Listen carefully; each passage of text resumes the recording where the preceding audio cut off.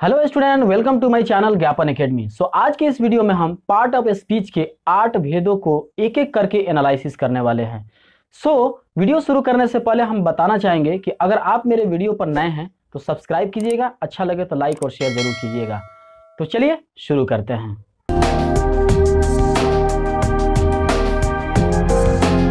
तो स्टूडेंट यहाँ हम पार्ट्स ऑफ़ स्पीच के आठ भेद को लिख दिए हैं। और हम इसको एक एक करके समझेंगे।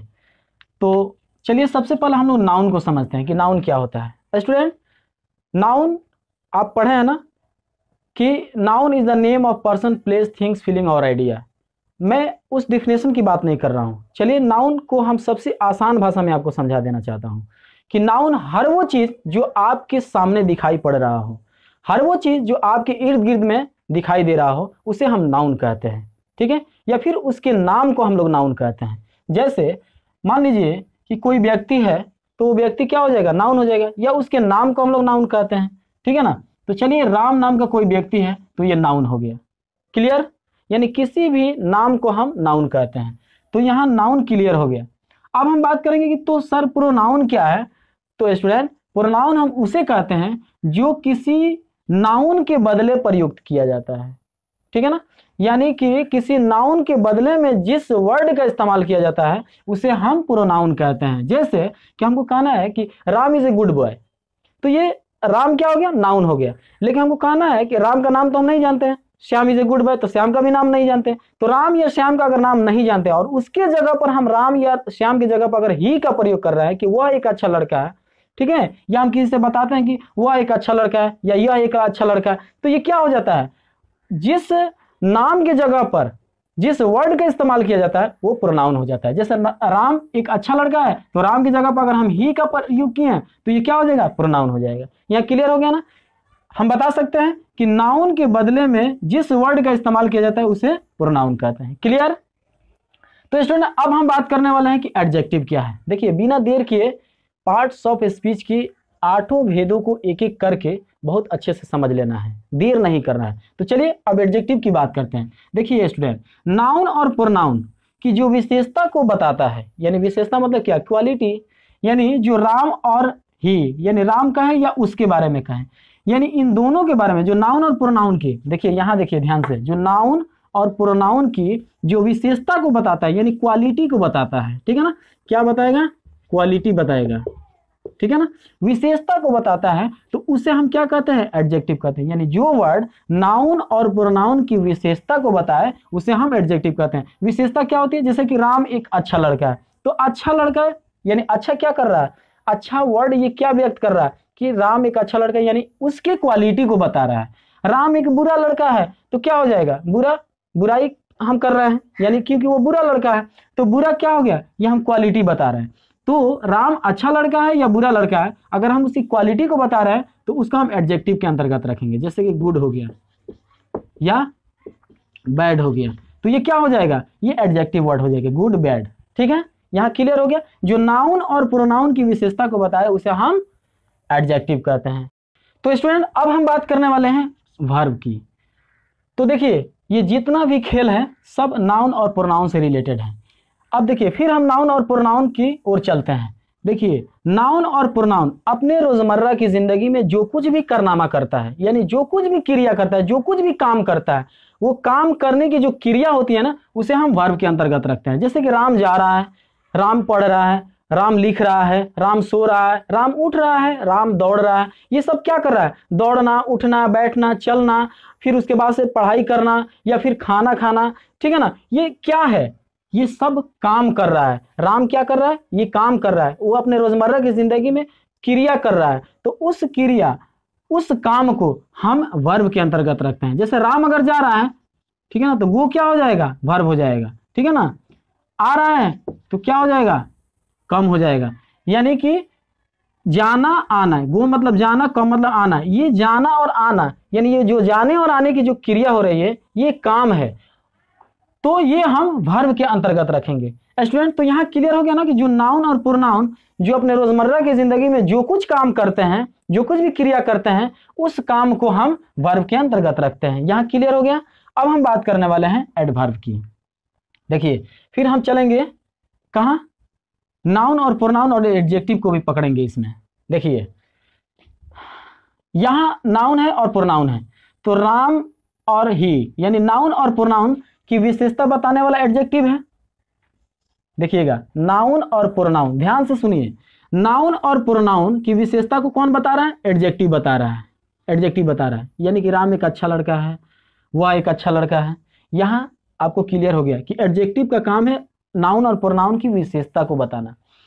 लेकिन इसी विशेषता को बिल्कुल स्पष्ट करना और स्पष्ट करना एडवर्ब का काम है। जैसे कि राम एक अच्छा लड़का है, राम एक बुरा लड़का है। यानी कि उसको और स्पष्ट दिखाना कि वाकई वो बहुत ही अच्छे ढंग से व्यवहार करता है, इसलिए वो अच्छा है। ठीक है? वो बहुत ही बुरे तरीके से व्यवहार करता है, इसलिए वो बुरा लड़का है। तो बुरे तरीके से व्यवहार करना, इसलिए वो बुरा लड़का है, यानी कि आप दो शब्द को स्पष्ट कर रहे हैं। क्या? बुरे तरीके से व्यवहार कर रहा है, इसलिए वो बुरा लड़का है। तो ये क्या हो गया? यानी बुरे तरीका से आप उसके व्यवहार को करते हुए देखें, इसलिए तो आप बुरा कह रहे हैं ना। तो एडजेक्टिव बैड का प्रयोग तब कर रहे हैं जब वो बुरे तरीके से आपके साथ व्यवहार किया। तो जो बुरे तरीके से व्यवहार करना मतलब आप स्पष्ट दिखा रहे हैं कि देखिए वो कितना बुरा तरीके से काम कर रहा है, या कितने बुरे तरीके से व्यवहार कर रहा है। तो वो बुरे तरीके से व्यवहार करना, ये कौन इंडिकेट करता है? एडवर्ब वो अच्छे ढंग से व्यवहार कर रहा है। तो ये अच्छे ढंग से व्यवहार करने का जो वर्ड आता है, वो एडवर्ब जो है ना इंडिकेट करता है। यानी कि अगर हमको कहना है कि बैडली ठीक है? तो बैडली क्या हो जाएगा? यानी बुरे तरीके से क्या हो जाएगा? एडवर्ब हो जाएगा। यानी कि जो बुरे तरीके से व्यवहार करता है, इसलिए वो बुरा है तो ये बैडली क्या हो जाएगा? एडवर्ब हो जाएगा। ठीक है? यानी जिस वर्ड के, यानी जिस एडजेक्टिव वर्ड के लास्ट में एल वाई आता है, उसे हम इसकी भी, माने जो हम ये क्या बता रहा है? ये एक पहचान बता रहा है। पहचान का भी एक अच्छा आइडिया है कि जिस एडजेक्टिव वर्ड के अंत में एल वाई आए तो वो क्या हो जाएगा? एडवर्ब हो जाएगा। क्लियर तो स्टूडेंट जो नाउन प्रोनाउन की विशेषता को तो बताता है, लेकिन उसको और स्पष्ट करने के लिए जिस वर्ड का प्रयोग किया जाता है, उसे हम एडवर्ब कहते हैं। फिर से ध्यान से सुन लीजिए। नाउन प्रोनाउन की तो विशेषता को एडजेक्टिव बताता है, लेकिन जिस नाउन और प्रोनाउन की विशेषता को बताने लिए, बताने के लिए एडजेक्टिव का प्रयोग किया जाता है एडजेक्टिव वर्ड का, और उसको और स्पष्ट दिखाने के लिए जिस वर्ड का इस्तेमाल किया जाता है, उसे हम एडवर्ब के अंतर्गत रखते हैं। क्लियर हो गया? चलिए तो यहाँ भर भी क्लियर हो गया एडवर्ब भी क्लियर हो गया। अब हम बात करने वाले हैं प्रीपोजिशन की। देखिए प्रीपोजिशन किसे कहते हैं? आप देख रहे हैं ना यहाँ पोजिशन पोजिशन मतलब क्या? मैंने कोई जगह, ठीक है ना? या तो देखिए, हम बता रहे हैं, किसी भी पोजीशन के पहले, किसी वर्ड को इस्तेमाल करना, उसे हम प्रीपोजिशन के अंतर्गत रखते हैं। जैसे, फिर आ गए हम यहाँ नाउन और प्रोनाउन की जगह पर। यानी कि नाउन मान लीजिए कि फखरुद्दीनपुर फखरुद्दीनपुर, ये एक जगह का नाम है, ठीक है ना? मान लीजिए सीवान है, ठीक है? सीवान है, ठीक है? या मान लीजिए बिहार है, ठीक है? तो ये क्या है? ये टोटल क्या हो गया? ये टोटल नाउन हो गए हैं। या प्रोनाउन के पहले जिस वर्ड का प्रयोग किया जाता है ठीक है ना? तो उसे हम प्री प्रीपोजिशन के अंतर्गत रखते हैं। जैसे कि मैं आ, इस टॉपिक पर बोल रहा हूँ। तो टॉपिक पर बोलना यानी कि किसी टॉपिक पर बात करना यानी कि ये टॉपिक पर बात करना यानी ये जो पर है यानी किसी टॉपिक पर बात करना तो ऑन टॉपिक जैसे मान लेते हैं यहाँ आगे ऑन टॉपिक ऑन टॉपिक ठीक है ना? या on this topic on this topic ये दिस टॉपिक तो है, लेकिन इस टॉपिक पर तो जो ऑन वर्ड है, जो ऑन वर्ड है, ये क्या हो जाएगा प्रीपोजिशन यानी कोई काम करने के लिए तो आप जा रहे हैं, लेकिन उस किसी पोजीशन को तो आप बनाने के लिए जा रहे हैं। अपने आप को किसी टॉपिक पर बोलने के लिए पोजीशन बना रहे हैं। किसी जगह पर रहने के लिए आप पोजीशन बता रहे हैं, ठीक है ना? तो जिस पोजीशन के पहले, जिस वर्ड का इस्तेमाल किया जाता है, उसे हम प्रीपोजिशन के अंतर्गत रखते हैं। जैसे कि अगर हमको बोलना है एट सिवान ठीक है? तो मैं सिवान मैं सिवान में हूँ तो आई एम एट सिवान तो एट क्या हो जाएगा? प्रीपोजिशन हो जाएगा। अगर हमको बोलना है कि ऑन यू यानी आप पर, ठीक है ना? It is up to you तो अप टू क्या हो जाएगा? अप ठीक है ना? अप चाहे ऑन चाहे एट चाहे इन ठीक है ना? ये सब क्या हो जाएगा? ये टोटल प्रीपोजिशन के अंतर्गत आता है, ठीक है? यानी जिस वर्ड के पहले, जिस वर्ड जिस जगह या नाउन प्रोनाउन के पहले जिस वर्ड का इस्तेमाल किया जाता है, उसे हम प्रीपोजिशन के अंतर्गत रखते हैं। यहाँ क्लियर हो गया ना स्टूडेंट अब हम बात करने वाले हैं, ये प्रीपोजिशन तो खत्म हो गया। अब हम बात करने वाले हैं कंजक्शन की। तो देखिए कंजक्शन किसे कहते हैं? आप मैथमेटिक्स में जोड़ पढ़े होंगे, जोड़, जिसको इंग्लिश में कहते हैं एड और इसको इस तरीके से असाइन किया जाता है। ठीक है ना? यानी जोड़ का काम क्या होता है? दो शब्दों, दो समूहों या दो या दो से अधिक नंबरों को एक साथ जोड़ना, ठीक है ना? यानी दो समूहों या दो शब्दों को जोड़ने का जो काम करता है, उसे हम जोड़ कहते हैं। उसी तरीके से conjunction is just like a add ठीक है ना? मैथमेटिक्स की भाषा में हम आपको समझा दे रहे हैं। यानी कंजक्शन का काम है किसी दो वर्डों और दो वाक्यांशों को एक साथ जोड़कर और उसे लंबा करना, या उस बात को पूरा करना। अब कैसे होगा? जैसे कि I am good and you यानी कि अगर हमको एग्ज़ाम्पल देना होगा I am good and you ठीक है ना? यहाँ एंड क्या कर रहा है? इस वाक्य को पूरा करने में सहायता कर रहा है। यानी कि आई एम गुड मैं अच्छा हूँ यू तो अगर हम कहेंगे आई एम गुड यू तो अच्छा नहीं ना लगेगा। तो इस वाक्य को पूरा करने के लिए एंड क्या कर रहा है? सहायता कर रहा है। तो एंड क्या कर रहा है? कंजक्शन का काम कर रहा है। यानी कंजक्शन एक कनेक्टर का काम करता है। इसको हम दूसरी भाषा में हम कनेक्टर भी कह सकते हैं। यानी जोड़ने का काम कर रहा है। तो कंजक्शन क्या कर रहा है? कनेक्टर का काम कर रहा है। जोड़ने का काम कर रहा है। यानी दो शब्दों और दो वाक्यों को जोड़ने के लिए जिस शब्द का इस्तेमाल किया जाता है, जिस वर्ड का इस्तेमाल किया जाता है, उसे हम कंजक्शन के अंतर्गत रखते हैं।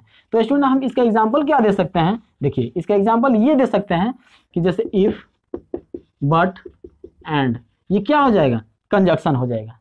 I am right and you you are right and he ठीक है? तो क्या होगा? तुम तो सही हो और वो गलत है या सही है? तो जिस वाक्य को पूरा करने के लिए, जिस वर्ड का इस्तेमाल किया जाता है और जिस वाक्यों और शब्दों को जोड़ने के लिए जिस वर्ड का इस्तेमाल किया जाता है, याद कर लीजिएगा, उसे हम कंजक्शन कहते हैं और उसे कंजक्शन के अंतर्गत रखते हैं। अब बात करते हैं इंटरजेक्शन की। स्टूडेंट ये तो अंत है और कहा जाता है, अंत भला तो सब भला। तो चलिए हम इसको भी समझ लेते हैं। स्टूडेंट यहाँ से लेकर यहाँ तक हम जो कुछ भी किए, ये करने के बाद आपके अंदर कितनी खुशी हुई और कितनी आपको दुख मिली।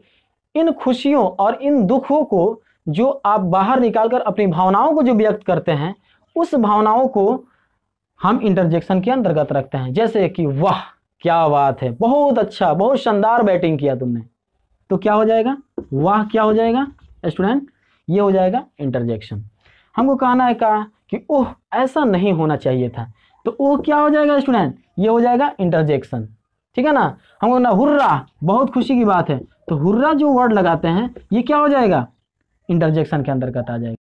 तो स्टूडेंट यहाँ आपको पार्ट्स ऑफ़ स्पीच के आठों भेद को आप अच्छे ढंग से समझ लिए और नहीं समझे होंगे तो एक और ऑप्शन में दे रहा हूँ, जिससे मुझे आशा ही नहीं, वरना पूर्ण विश्वास है कि आपको उस वाक्य के तहत आपको पार्ट ऑफ़ स्पीच के आठों भेद पूरे हमेशा हमेशा के लिए याद रह जाएगी। तो चलिए उस सेंटेंस को लिखते हैं कि वो सेंटेंस कौन सा है। तो सबसे पहले हम इसको मिटाएँगे ना।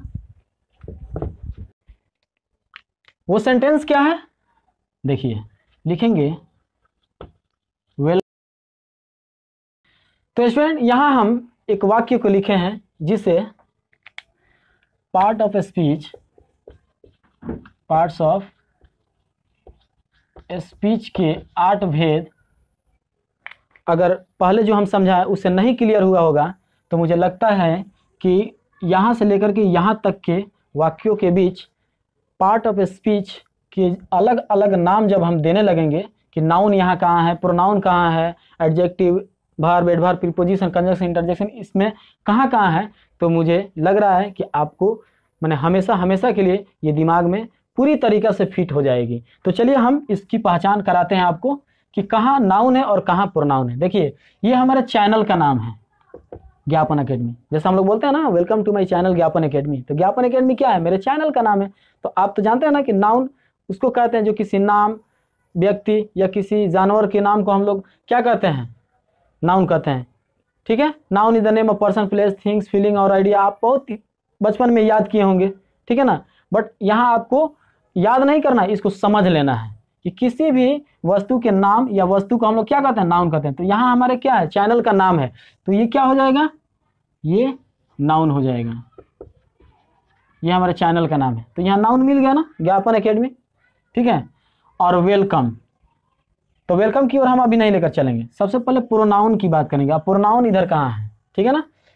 प्रोनाउन क्या? है यानी जो नाउन के बदले में प्रयोग किया जाता है। तो ये क्या है? यह एक बहुत ही अच्छा प्लेटफॉर्म है। ठीक है ना? तो ईट क्या हो जाएगा? यानी नाउन के बदले में प्रयुक्त किया जा रहा है। यानी नाउन के बदले में प्रयोग किया जा रहा है। यानी welcome to my channel Gyapan academy और इसी चैनल के बारे में अगर हम बात करें, यह एक बहुत ही अच्छा प्लेटफॉर्म है।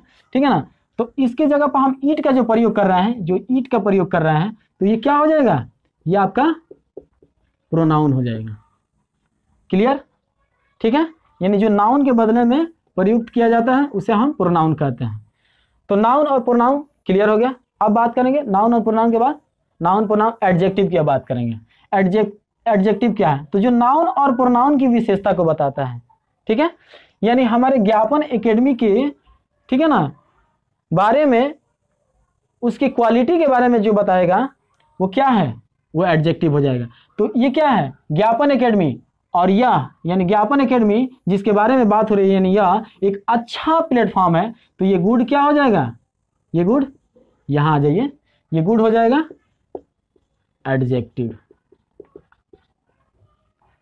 ठीक है? क्या हो जाएगा?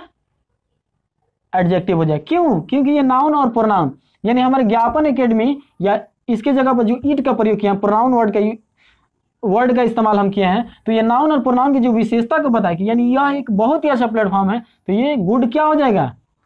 आपका एडजेक्टिव हो जाएगा। तो नाउन प्रोनाउन एडजेक्टिव हो गया। अब हम भर्व की बात करेंगे कि तो भर्व कहाँ है? तो देखिए, यह एक अच्छा प्लेटफॉर्म है तैयारी करने के लिए। तो तैयारी करना क्या है? यानी क्रिया करना, यानी काम करना। तो काम करने की क्रिया को हम क्या कहते हैं? भर्व कहते हैं।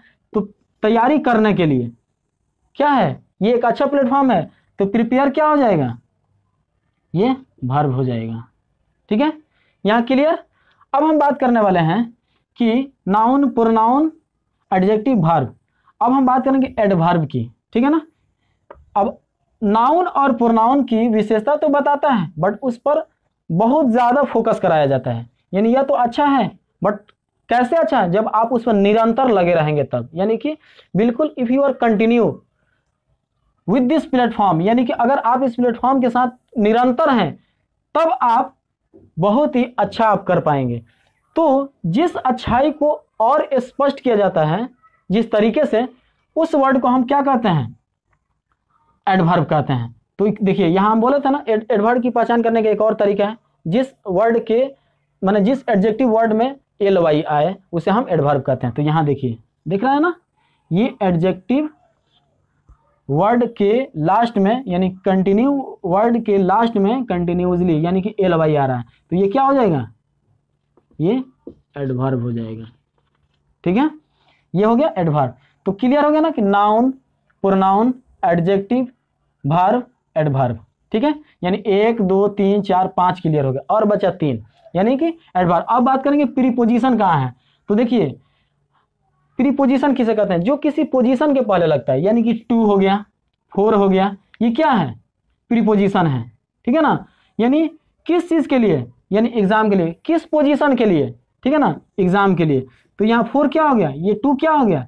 ये टू और फोर ठीक है ना? ये दोनों क्या हो गए? प्रीपोजिशन हो गए, ठीक है ना? तो यहाँ हम लिखेंगे, ठीक है ना? प्रीपोजिशन प्रीपोजिशन अब बात आती है प्रीपोजिशन के बाद कंजक्शन की। यानी कंजक्शन मीन्स कनेक्टर जो ऐड का काम करता है। दो शब्दों और समूहों को जोड़ने का काम करता है, जो दो नंबरों को एक साथ जोड़ने का काम करता है, जो दो वाक्यों को जोड़ने का काम करता है। ठीक है ना? तो जोड़ने का काम कौन कर रहा है? यानी prepare for the exam if you study continuously यानी इफ़ बोले था ना इफ़ बट एंड ये सब क्या है? ये कंजक्शन है। तो यहाँ कंजक्शन वर्ड मिल गया हमको। ये हो गया कंजक्शन ठीक है? कंजक्शन क्लियर हो गया? अब बात करते हैं इंटरजेक्शन तो हम बोले हैं ना कि कभी भी किसी की आने की खुशी में वाह किया जाता है या जाने के समय में दुख जो पर, प्रकट किया जाता है, उसे हम लोग क्या कहते हैं? उस वर्ड को हम लोग इंटरजेक्शन के अंतर्गत रखते हैं। यानी अपने अंदर की खुशी और गम की भावनाओं को बाहर निकाल करके उसे प्रकट करना, उसे एक्सप्रेस करना और बताना कि मुझे खुशी हो रही है या बहुत दुखी हो रही है तो उस खुशी और दुखी को हम किसके अंतर्गत रखते हैं? इंटरजेक्शन के अंतर्गत। तो देखिए वेलकम है, यानी welcome to my channel Gyapan academy ऐसा जब हम लोग कहते हैं ना welcome to my channel Gyapan academy तो वेलकम क्या होता है? वेलकम ये इंटरजेक्शन का काम करता है। ठीक है ना? यहाँ देखिए इंटरजेक्शन का काम करता है। इंटरजेक्शन स्टूडेंट यहाँ तो मुझे लग रहा है कि आपको पूरी तरीके से क्लियर हो गया। यानी देखिए, अब मैं ब्लैक से लिख देता हूँ। देखिए noun pronoun verb adverb preposition conjunction interjection total हो गया ना क्लियर यानी इस सेंटेंस के तहत पार्ट्स ऑफ़ स्पीच के आठों भेद पूरे अच्छे ढंग से क्लियर हो गया। यानी वेलकम टू ज्ञापन एकेडमी स्वागत है आपको Gyapan academy it is a good platform यह एक बहुत ही अच्छा प्लेटफॉर्म है। यानी it is a good platform यह बहुत अच्छा प्लेटफॉर्म है। Sorry it is a good platform यह एक अच्छा प्लेटफॉर्म है। बहुत ही अच्छा मैं बोल दे रहा हूँ बार बार निकल जा रहा है, क्योंकि मेरा बहुत ही अच्छा है, ये बात सही है। It is a good platform ठीक है? यानी यह एक अच्छा प्लेटफॉर्म है। टू प्रिपेयर यानी तैयारी करने के लिए फॉर द एग्ज़ाम एग्ज़ाम की इफ़ यू स्टडी कंटिन्यूसली अगर, देखिए, यहाँ भी स्टडी है ना? स्टडी क्या हो जाएगा? अध्ययन करना। ये तो काम है ना, कर रहे हैं तो ये भी वर्ब हो जाएगा। ठीक है ना? तो छोड़िए इसके बाद अब आइए कंटिन्यूसली ठीक है ना? अगर आप निरंतर इस पर अध्ययन कर रहे हैं तो इस चैनल पर निरंतर अध्ययन करने वाले स्टूडेंट बेहतर एग्ज़ाम की तैयारी कर लेते हैं और वो बहुत ही अच्छा मार्क्स ला लेते हैं। तो स्टूडेंट आज के इस वीडियो में पार्ट ऑफ़ स्पीच के आठों भेदों को एक एक करके हमने एनालिसिस किया। आगे वीडियो में हम इन आठों भेदों को अब एक एक करके उसके अलग अलग जो प्रकार होते हैं, जैसे मान लीजिए कि नाउन के अलग प्रकार होते हैं और कितने प्रकार होते हैं, उस पर बात करेंगे। प्रोनाउन की कितने प्रकार होते हैं एडवर्ब की प्रीपोजिशन की कंजक्शन की इंटरजेक्शन की, इन सभी भेदों के अलग अलग भेद होते हैं, उस पर हम आगे वीडियो में बात करने वाले हैं। तब तक के लिए इतना ही। फिर मिलेंगे अगले वीडियो में अगले टॉपिक के साथ। तब तक के लिए जय हिंद, जय भारत।